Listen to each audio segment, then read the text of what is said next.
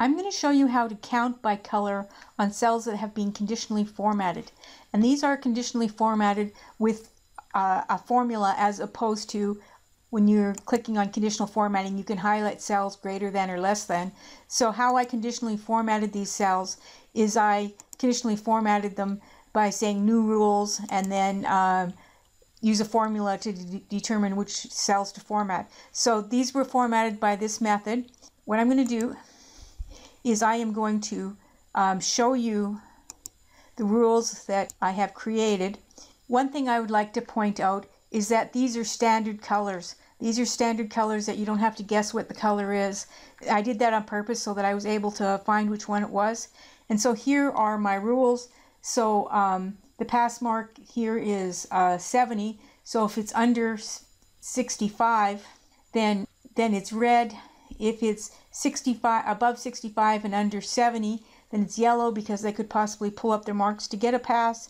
And if they're above 69, then they're they're going to pass and everything is good. So we'll go okay. Now let's look at the formula.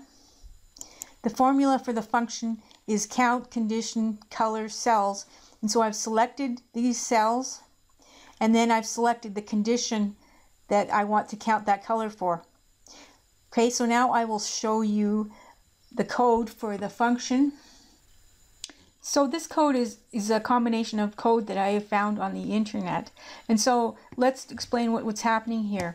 So the first thing that I've added onto this application is I've just below the, the function here, I say application volatile.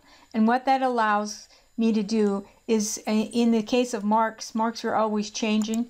So let's say that this person went from a 75 to a 50, or let's say 55. And so right now the count is 8 and 3 and 3. So let's make this 55 and press tab. And now it's 7 and 4 and 3. So it not only does it update the conditional formatting, but it updates the count here.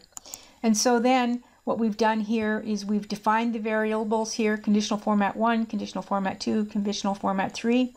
And if it's working, work equal, equals false to start with. For the range of cells, if the first for the first conditional format to the number of conditions in the range, so what we're doing is uh, we're counting the number of conditions. If the first conditional color is in the range, then start counting. And so then it goes uh, it goes through here and then what it does is it counts colors in the range and then it adds it to the total here. So CF1 or CF2 plus 1, CF3 plus 1, next cell, and, and so it works. This is how you can count the colors in a conditionally formatted sheet using this function. I will include this in code in my description. Please subscribe.